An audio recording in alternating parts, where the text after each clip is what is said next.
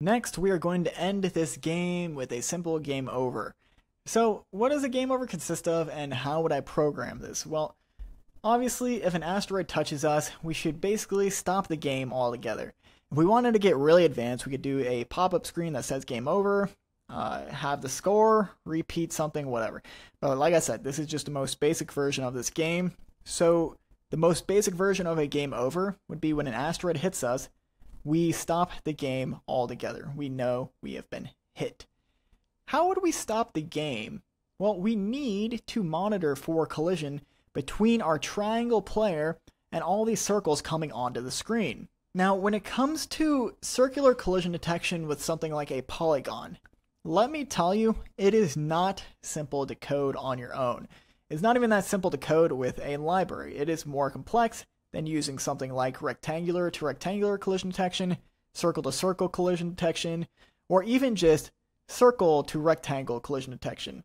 So one method is we could overlay a rectangle on top of our triangle and then detect for a collision between that and the circles. But even that gets a little complicated when we start rotating our player because then the rectangle's rotating. And we have to take these rotations into account when using that to detect for collision between the rectangle and the asteroids. So that's kind of off the list in that case, and plus it wouldn't even be that accurate because if something touches a rectangle, that means we theoretically could touch an asteroid and have our game be listed as game over. Not what we want.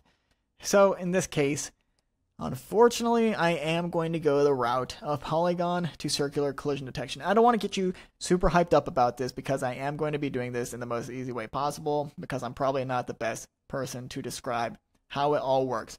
We are going to be using some library functions to implement this, and I feel a little bad doing it this way because I always try to explain as much as possible, but I think this is the best route for getting something up and running, and maybe even showing you exactly how to start implementing library code in your game, because it's going to be very handy later on as you realize that you can't code everything like this on your own, including me. Like, this is very hard for me to code on my own, which is why we're going this route of using pre-made functions. So how would we begin integrating pre-made functions to detect for collision between a triangle and all the asteroids? Well, I created a GitHub gist just for this. So gist is G-I-S-T, and they're basically just quick GitHub snippets available to us, and this is going to be asteroidhelpers.js. So if we look at this, this is what it consists of. We have a method called getVertices, and then we have two functions. These are the main helper functions we're going to be using.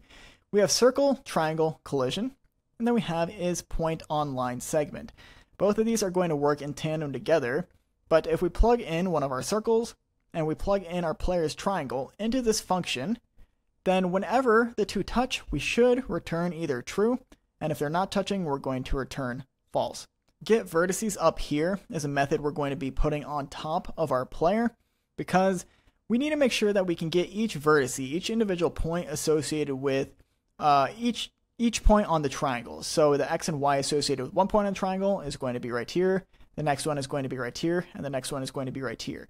We need all of these points for the circle triangle collision function to work because it takes a triangle, and if we don't have a triangle which consists of an array of three points, this whole thing just isn't going to work. You see that we loop through our points, and then we grab those individual points, and then we run all the code that sees is this point on a line segment. We start running everything we need to determine if the circle's colliding with one of our triangles. It's pretty complicated. You can look through this, see how things work or function. I, I guess it's not that complicated. It's all pretty well written out. But this is how we're going to do it, is we're going to use these functions to start detecting for collision. So how would we integrate this library code into our game? Well, getVertices, as I mentioned, is going to go on top of our player class. So let me grab this method and go over to Sublime Text and find our player class. Here it is. Right after update, I'm going to paste in get vertices. So this is going to grab a rotation, get the cosine and sine associated with it, and get the exact x and y coordinate for each point on our triangle, no matter where it's rotated. It's going to be stored within this array whenever we call get vertices. So if we want to use get vertices and start monitoring for a collision detection between our asteroids and our player, First, we need to loop over all of our asteroids. It's going to be right here within asteroids management, where we can actually grab one particular asteroid. So now we can go back to our gist and start making use of these other two functions. So I'm going to grab both of these because is point on line segment is used right here within circle triangle collision, so we need both of these. I'm going to scroll down and copy both. Go over to Sublime Text and find a good location to paste it in. I'm just going to paste it beneath circle collision. And if you find that this is kind of getting unwieldy, you can always create a separate JavaScript file called utils and pull in all of your utils accordingly. But I think this is just the most basic way to do things, so I'm going to paste both of these in.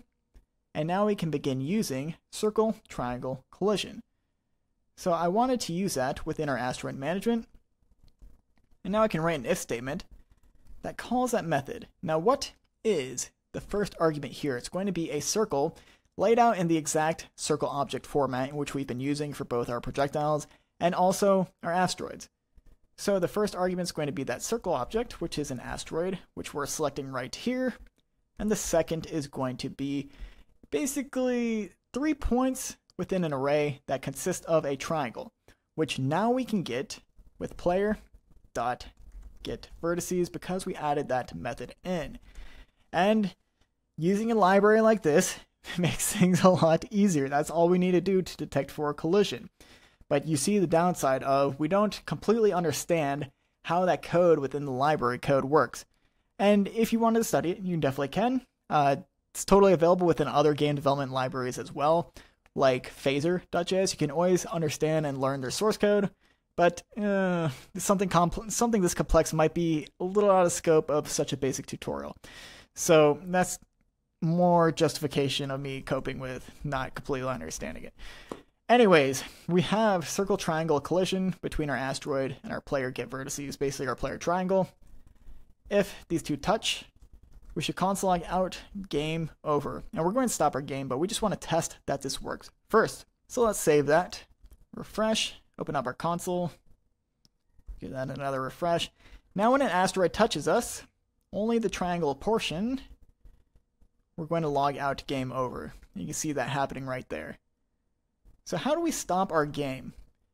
Well, we're going to always store an ID associated with request animation frame. Anytime this is called, it returns an ID representing what frame it is currently on. We want to grab that ID by saying a const of animation ID is equal to window.requestAnimationFrame. Now we can use this ID, indicating what frame we're currently on, and plug it within another method called window.clearAnimationFrame. So whenever our asteroid collides with our player, we're going to clear our animation frame but we need to plug in that exact animation ID. What frame are we currently on? Well, we're on this one, which was assigned up above. If we get hit, we cancel everything altogether. We're no longer going to call any code within animate. So let's save, refresh, and see this in action. Now when an asteroid touches us, we should stop the game altogether. And it looks like I just don't know my own code, unfortunately, a big dummy. It is not clear animation frame. It is cancel animation frame. I think I got that mixed up with clear interval. I want to say that's how you cancel intervals. So yeah, let's just make sure we're using cancel animation frame right here and test it again. Save and refresh. And now, when we touch an asteroid, we're going to do a game over, and then we're going to stop things altogether. You're going to see though, we're still spawning asteroids, even though our game is completely over. And this is a case in which we'd want to clear out the interval associated with where is it? Our interval code, which is spawning our asteroids. So similar to request animation frame, set interval returns an ID. So I'm going to say, whenever we call set interval, we want n interval ID that is set. And then we can use this to clear that interval so asteroids are no longer spawned. So where we have game over down here with our animation loop, we're going to call clear interval. That's what I got mixed up with cancel animation frame right here. What do we want to clear? Well, the interval of interval ID. And with that, I want to say should be good with not spawning asteroids any further. So I'll refresh with that newly saved code and get hit by an asteroid like a dummy. And you see that's pretty close, even though they're not touching. We would technically have to take some more velocity calculations into account. It's pretty darn close, I would say, so I'm not going to go and get go too ham over it, but you'll see as we start to slow down and asteroids hit us without that direct velocity movement in place, then you're going to see exact one-to-one touching on the triangle, the circle. But we're no longer spawning asteroids. Let me show you exactly what I meant by that collision detection without the velocity. I'll move up here. Yeah, you see that that's only going to fire as long as this touches our side and we're not moving at a ridiculous speed. You definitely need to take into account your velocity within that collision detection equation if you want it to be as precise as possible because we're always going to be moving at different rates. But I think this is okay for the most basic version of asteroids. So I think that's going to be it for this lesson. Let's do a quick run through on our game to see everything that we just created. So we have really nice movement all around. Our projectiles are looking just fine. And then of course we have game over functionality where if we hit something, such as this asteroid, we just stop the game altogether. So this is a great base version of asteroids for you to begin working further off of. Things I would do are split your bigger asteroids up into smaller asteroids once they are hit. You can also shrink the larger asteroids, make them smaller. You can also create a game over screen, a start screen. You can definitely touch up that velocity collision detection code a little bit between the triangle and these other asteroids. You can add angles for each of your asteroids as they come in. So one might come in this way, this way, this way, this way. These are all just tons of different possibilities for you to continue to improve your game. But I hope you learned a ton in this one. I know that was already a lot to cover, but that's going to give you a really, really great foundation to continue building these kinds of games in the future. So finally, let's head back to our to-do list and check off the very last one, game over. So then my friends, I really, really hope you enjoyed this series and you learned something along the way.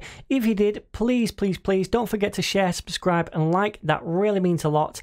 And if you want to access all of my YouTube courses without adverts, also get access to premium courses and early access courses as well, you can do at netninja.dev. You can sign up for NetNinja Pro, which is just $9 a month and also half price for the first month with this promo code right here. And for that, like I said, you get access to every course without adverts, without YouTube adverts.